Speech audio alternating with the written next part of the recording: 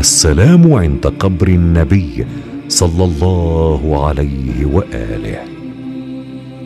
سئل الإمام الكاظم عليه السلام كيف السلام على رسول الله صلى الله عليه وآله عند قبره؟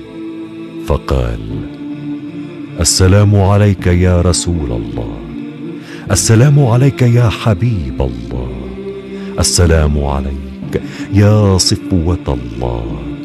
السلام عليك يا أمين الله. أشهد أنك قد نصحت لأمتك وجاهدت في سبيل الله وعبدته مخلصا حتى أتاك اليقين.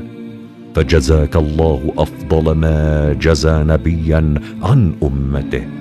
اللهم صل على محمد وآل محمد أفضل ما صليت على إبراهيم وآل إبراهيم إنك حميد مجيد.